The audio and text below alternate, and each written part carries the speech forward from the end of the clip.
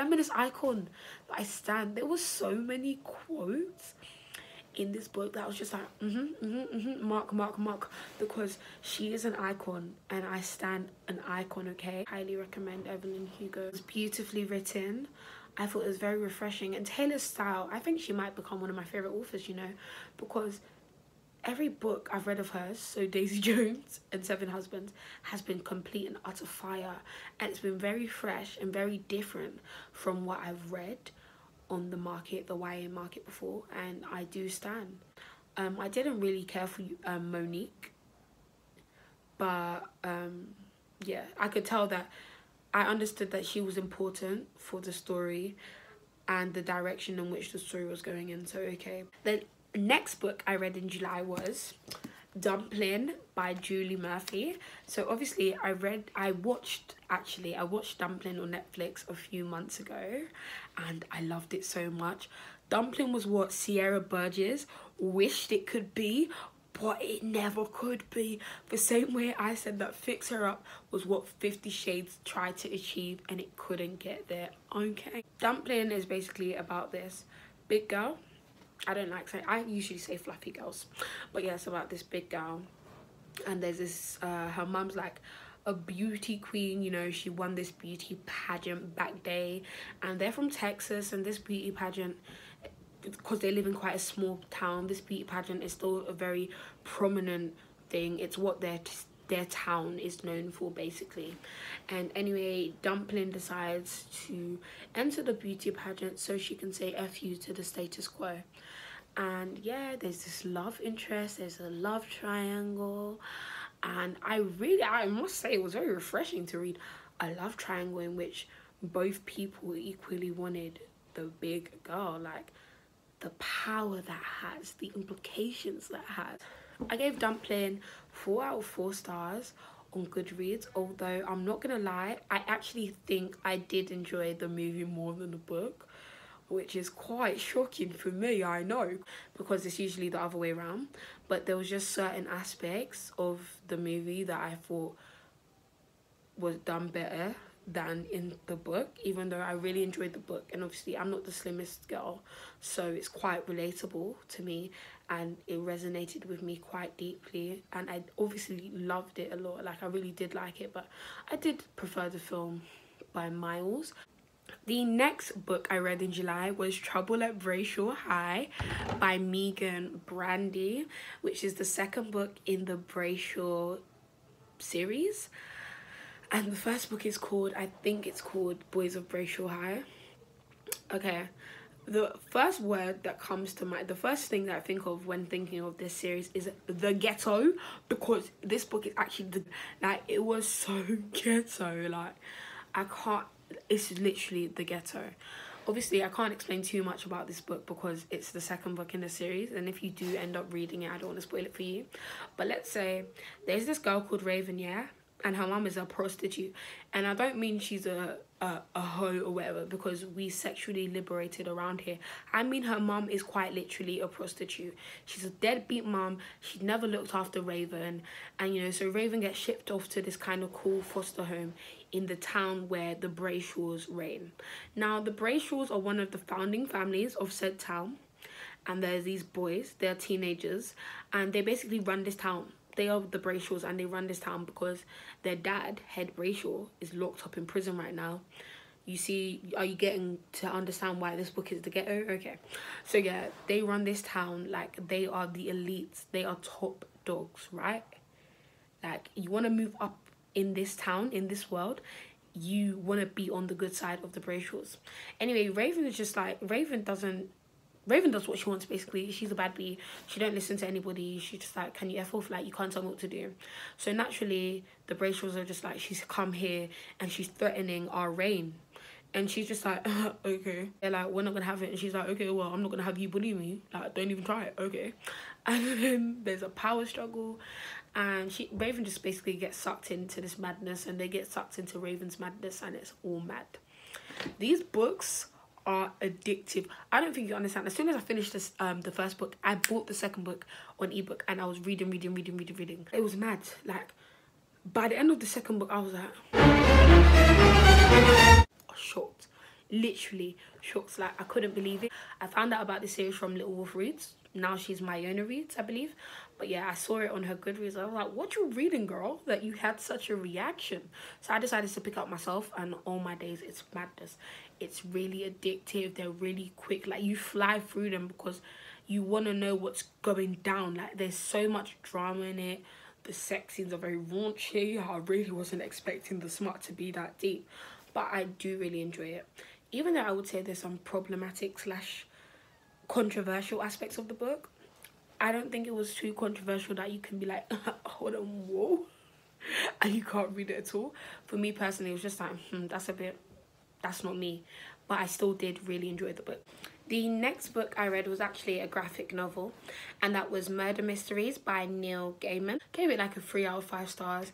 Basically, it's about Lucifer, Morningstar, Satan, and it was all about his rise and fall in heaven and why he basically chose to forsake God and leave the angel. God, I don't. But no, it was really interesting. Um, it explored some really good themes like love, vengeance, greed, like etc. etc. And I did really enjoy it. It was quite a quick, easy read. Um, I thought it was interesting, you know, and yeah that was it really. Read it because i didn't feel like reading words but i wanted to read still. The next book i read was also a kind of graphic well it was a picture book and it was called first snow by Bomi Park and i gave it three out of five stars on goodreads. Again there's nothing much to this one really. It's in the title it was about the first snow um, it's for children. And there wasn't a lot of dialogue in this book but the illustrations were to die for. They were so beautiful so cute and i really enjoyed it. It was a quick read again. I flew through it like this. It was very quick. The next book i read was actually the truth pixie. Um it's part of a series but i only read that one because i feel like it's a series but they're all standalones so you don't have to have read the other books to read this. This was by Matt Haig. I actually gave this one 4 out of 5 stars. I really enjoyed it. It's basically about this pixie and again it's in the name. She tells the truth. Like she cannot lie. But this has resulted in her having no friends because it's not like she just can't lie about serious things like Tolani, tell me the truth did you steal that money from the bank? I love you, baby, but not like that. Your love ain't never paid my bills or put no clothes on my back she has she cannot lie even about the most trivial of things. Like you know those little white lies we probably all tell to like um help you know save our family's feelings our friends you know so they don't feel bad. She cannot tell those lies and so she has no friends. And like so it's led to her being like really sad and depressed and she feels like no one's ever gonna like her. It was actually proper cute. And the reason i gave this four out of five stars is that even though i'm 19 i'm gonna be 20 next year I still really enjoyed the message of this book basically. And it was basically just saying that no matter how alone you feel or how different you think you are you're always going to eventually find someone that will accept you for yourself.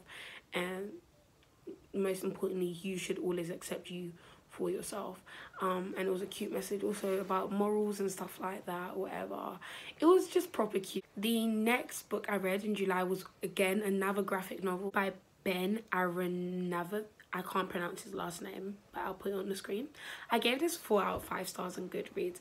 I found this one really interesting. It was a fun read and there's black protagonists and um, the female protagonist is actually a Muslima. She wears like a hijab and I really like that. And then the, the male protagonist is obviously just a black man. And I think they work for the MI5 or something like they work for, you know, MI5 by the way is the um the British equivalent to the Secret Service or the FBI or whatever in America.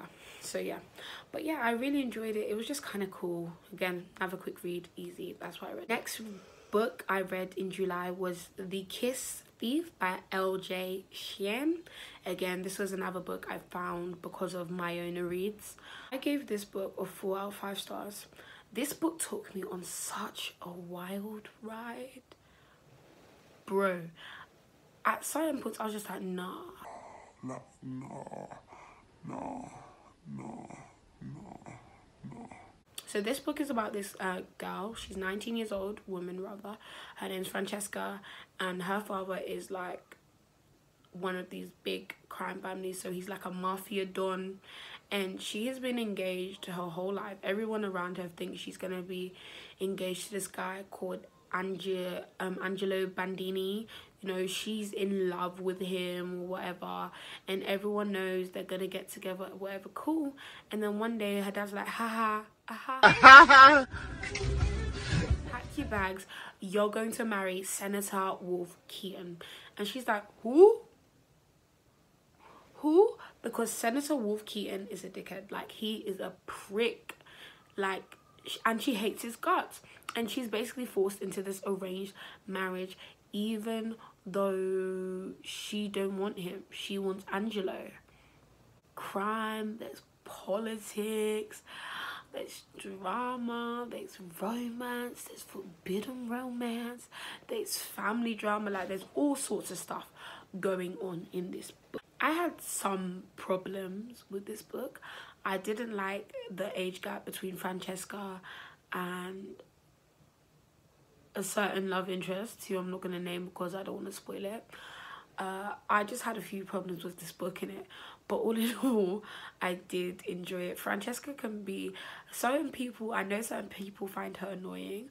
I don't find her annoying. I think she's just very impulsive, which makes sense. She's still quite young or whatever but I, I found her funny like I think she's very dramatic and I'm kind of dramatic myself which is why I like her um, and I just like that uh, she doesn't take nonsense but you know she has her own ways of protesting and making it known that she does not agree with certain things which i really enjoy. I didn't like the ending because it's very stereotypical and happy and i just feel like it deviates from a certain character's expressed desires. I don't like when characters randomly switch up quick like that and they're just like oh no but because i love you i'm gonna i'm gonna change my ways and i'm gonna eh, skibbity shut up like whatever cool. But i did overall enjoy it. The next book I read in July was Homegoing by Yaa Gyasi. This was actually a gift for my 18th birthday last year from my friend Mary and I finally read it and I gave it three stars. It was quite a hard read for me. Um, I, am not going to read it again. I will probably never read it again just because it wasn't enjoyable just because of the premise of the book. So it's about two sisters. One is sold into slavery and one is forced to marry um, a slave trader's a slave trader basically and it follows their journey and their family's journey so the generations that come after them. Um it was very painful. It yeah it was very painful i would say. And for that reason i won't read it again because i don't believe in putting myself through unnecessary pain and making myself purposely angry. I feel like i've read enough books like this. I've watched enough movies like this. So it's kind of painful. It was well written though and yeah. And the final books there are three but it's part of a series that i read in july were the love sisters trilogy by christina c. Jones. I spoke about this in my romance recommendations video before. And so that includes i think i might want you. I think i might love you. I think i might need you. I love these books. I love these sisters. I love them. Like i just love the romances with each sister and their you know their bulls i really did love these books. I gave i think all of them five stars just because of how much i enjoyed reading them. Um who's my favorite love sister? I don't know. I love them all for very different reasons. But i think christina c jones is going to be a new favorite of mine because i like her how she writes romance that not all of her romances between characters look the same. That's it guys, those are the 18 books I read in July. I'm sorry if my energy is low, it's like 10 o'clock or 11 o'clock at night right now and I'm so tired but I really wanted to get this video out for you guys or whatever. Thank you so much for watching. Like, comment guys. Talk to me. I want to talk to you okay? Comment subscribe. My social media is in my bio. Connect with me message me whatever. Let's be friends. Come again soon. I post videos whenever. I'm gonna be posting a video a week now. As you can see this video is actually early. And yeah i'm so looking forward to talking to you guys again soon. See you in my next one. Bye